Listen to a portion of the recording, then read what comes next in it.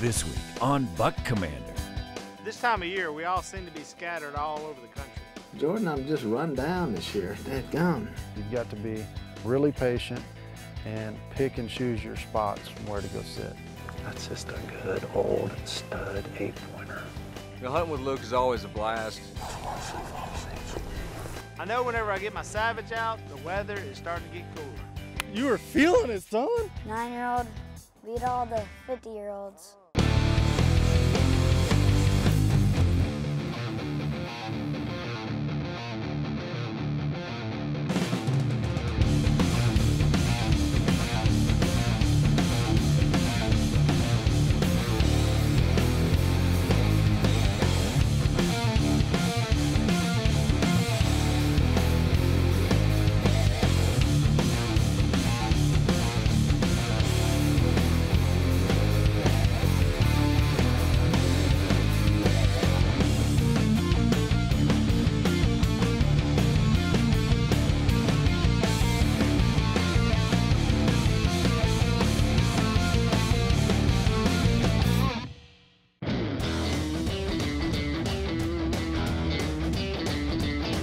Taking off on our yearly trip to the Wallahatchie in Oklahoma. I got my son, my dad coming with me. Kind of a yearly tradition that we go out there for three or four days, take the Savage out, and uh, usually turns out pretty good.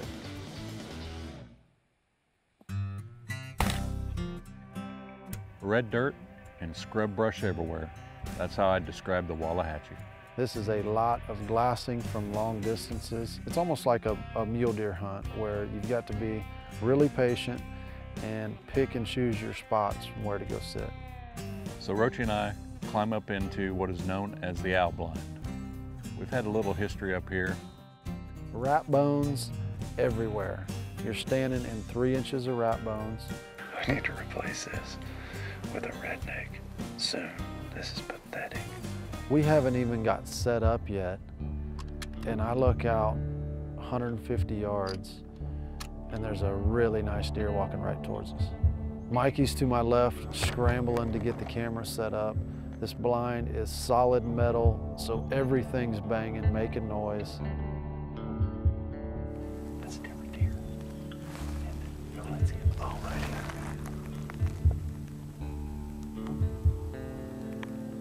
We make the decision, we're gonna try to kill this deer.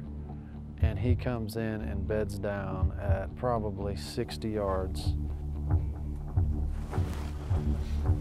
Did he just lay down? Now we're in a waiting game.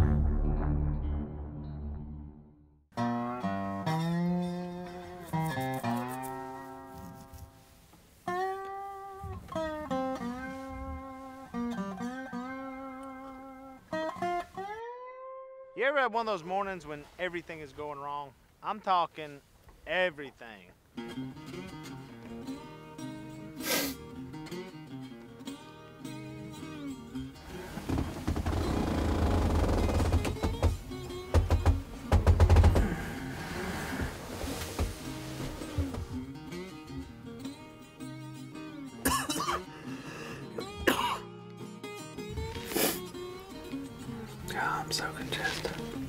Days where I wake up and go, I don't even know why I'm gonna be out there, but I'm gonna be out there. I'm pretty much resigned to the fact that I'm not gonna kill a buck.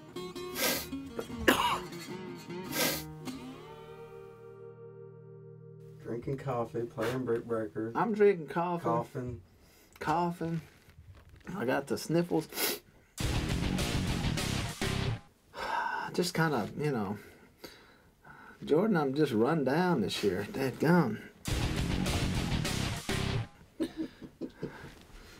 Down. I've been getting after it, son.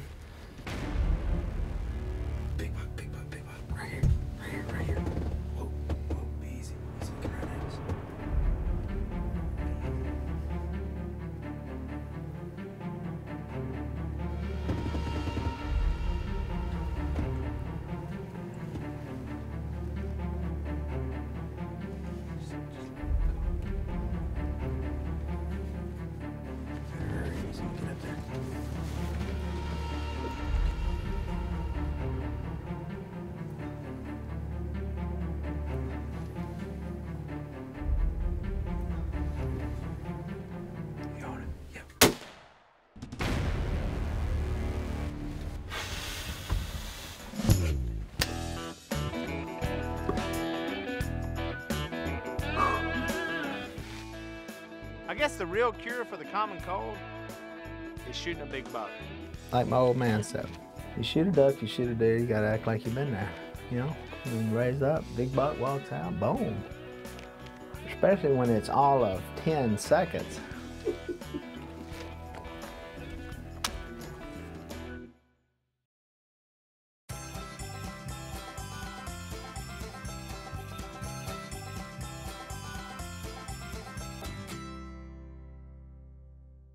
So anyway, I had been preaching for years that I needed to get some of the buck men down to Georgia and uh, try out some South Georgia deer hunting. And Willie has always really kind of busted my chops about there being no big deer in South Georgia. So this trip we set out to prove Willie wrong.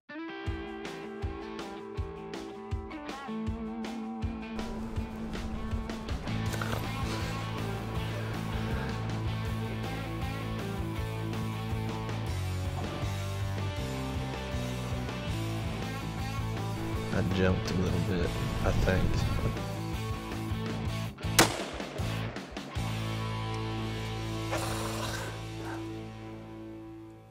Yeah, that was bad. That was real bad.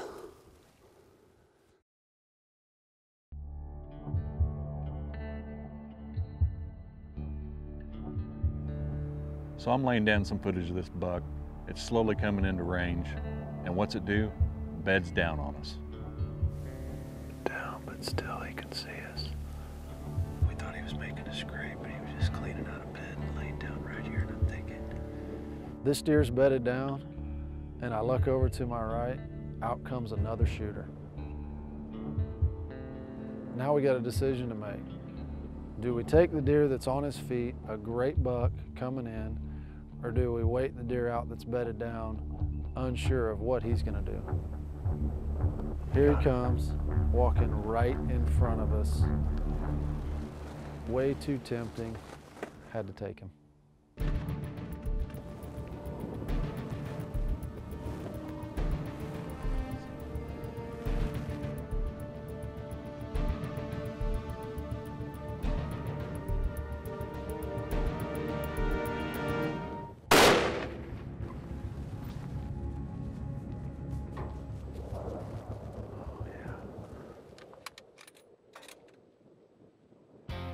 Fifty yard chip shot, first deer with my Savage, a gun that I got to go custom build with the boys. that's just a good old stud eight pointer with some very healthy mass. Icing on the cake, I had my son and my dad there to celebrate with us. Oh. Check them out, Dre. This is one of the quickest hunts I've ever been on. Get the camera almost ready, the deer comes in, it's over as quick as it started. I'm done. Quick hunt at the Wallahatchie. Let's go. Now it's Drake's turn.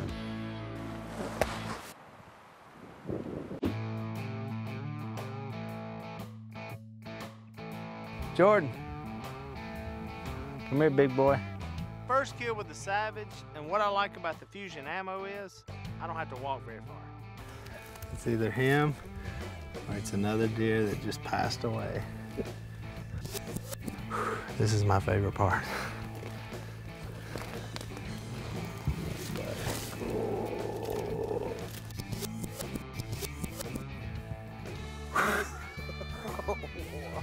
Finally got my hands on this sucker, and let me tell you, he is a toad. What a stud boy you are. Look at this. On days like this, when everything looks like it's gonna be wrong, sometimes it turns out right. Never gets old, boys. It never gets old. Well, since I shot this deer so fast, I was able to send Jordan to catch up with Langy in Texas to get on a big mule deer.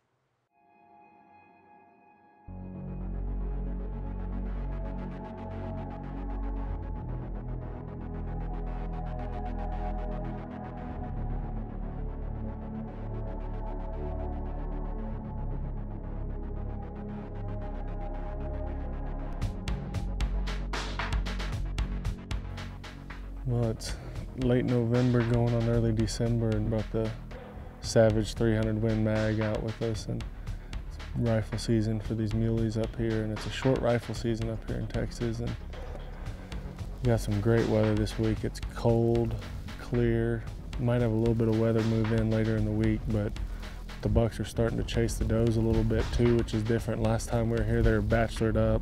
Fortunately for us, we don't have to try to get quite as close. We can let the savage do its work.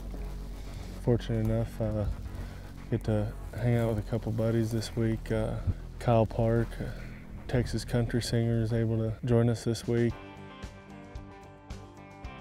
Kyle's been a very successful country musician here in the state of Texas, and he found time to get a break in his busy touring schedule to get up here and chase mule deer. Kyle's a very avid hunter who shares a passion with us, loves to be out any free chance he gets when he's not having to play honky tonks around the state of Texas. Matt. Good shot, buddy. He's down.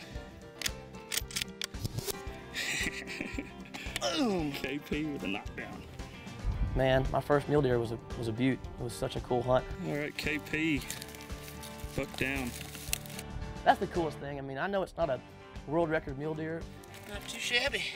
The truth is that that was one of the most extreme hunts I've been on. I mean, walking over a mile and the conditions we were walking.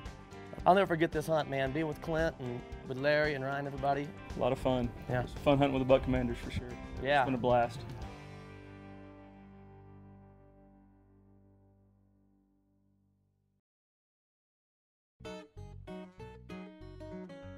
I tried to tell Drake, I said, Drake, there's a hundred whitetail for every mule deer. Chances of killing a mule deer out here are pretty slim.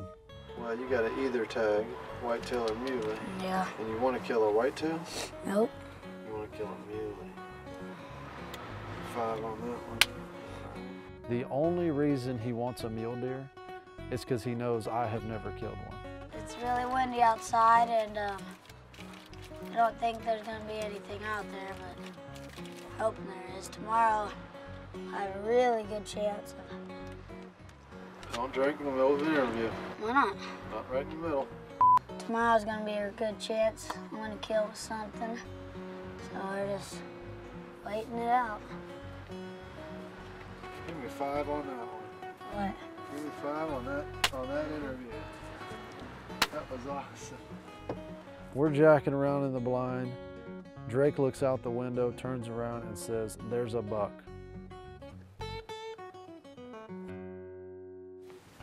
Let's go. He's, I think he's headed way to Yes, the sir. We're gonna have to get up We're going to go sneak up on him. Let's go. Let's do this thing. We had a pretty good idea where he was going. He was headed towards the alfalfa.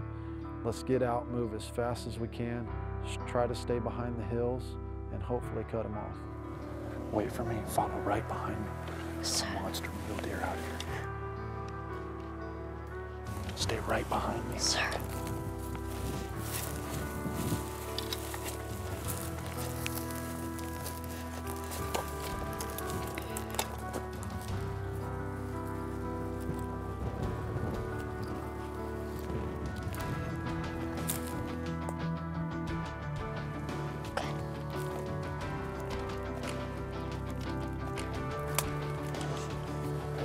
This is as close as we can get. You see him? Yes, sir. Get him in there. Hey, don't shoot yet. Don't shoot. Let him get broadside. Right behind his shoulder. Oh! Oh! Drop that big sucker. The deer you've been wanting.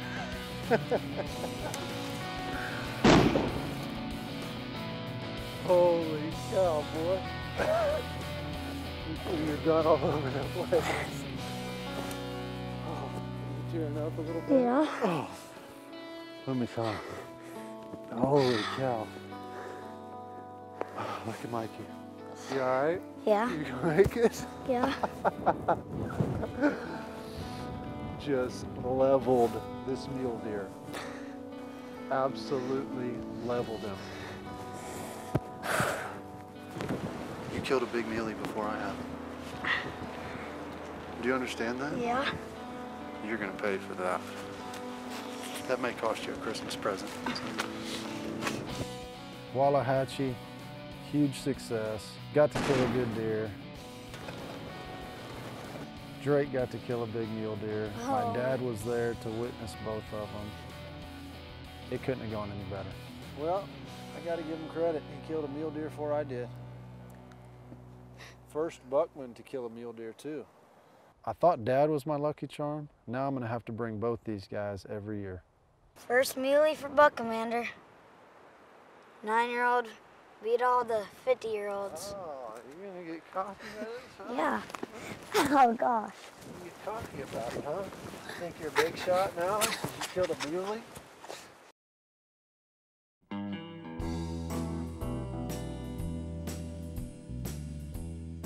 Hunting with Luke is always a blast. He's kind of a uh, scatterbrain, busy bee. We're in a, uh, we're in a little, uh, in a little pine bottom. He's always got something going on in his head, but you never know exactly what he's thinking of because when he does speak, he can't finish his sentences. Oh yeah, um, Tombo's here. Hunting with him is great. You know, we're in his hometown of Leesburg. It's got to be at least 28, 29 now, so it's things are looking up. It's freezing cold that morning, windy. We want to get this done as soon as we can. Buck right there. And this deer steps out at about 80 yards.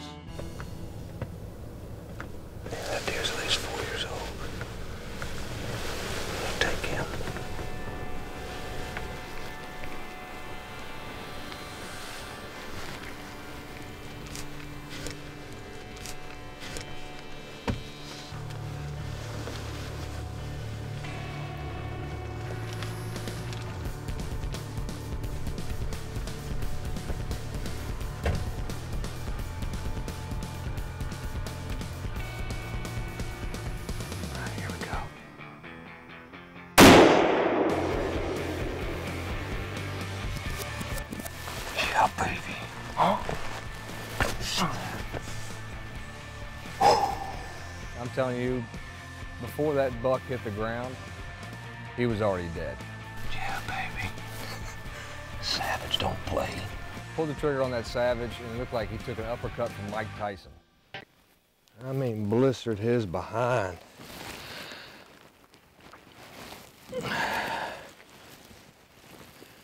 Look at the head on this dude. Shoot, yeah.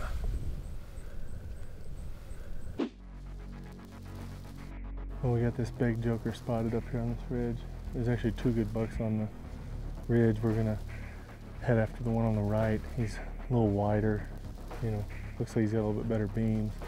And I just hope we can get within a couple hundred yards of him, get a shot off. It's gonna be a pretty good hike across there. We're gonna have to get down, get down and go across this creek.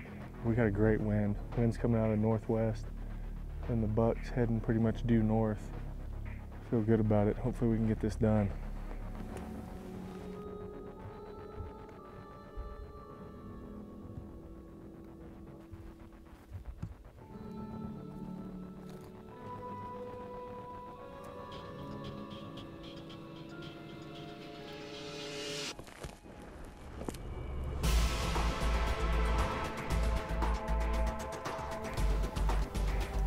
Well, I wanted to creep up to the top of this hill and peek into the bowl on the other side just to get an idea of what it looked like and if that was the bowl we thought our buck was in. When you get to right here, get low. I get up to the top of the hill and glass the bowl, and I don't see anything at first glance. Come on up. As I turn back around, I hear something, and our buck is up and he's bouncing up towards the horizon. Got up. He's heading up that ridge, right up towards the fence line. And before I know it, Jordan's up there, has the camera set up, and he's ready for the shot. Take your time, buddy.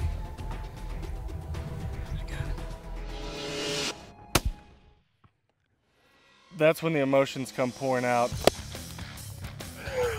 Give me some, Jordy. we dropped him right in his tracks. You came up and you said, I'm on him. And then I, was, I said, I'm not. I, I was actually, I was on him, but I was sitting there. Those crosshairs were doing this number right there, and I'm like, because there was, I was worried. I knew, I knew there was a chance he could bolt at any minute. I couldn't wait to head up there and check the sucker out and put my hands on that rack. There he is.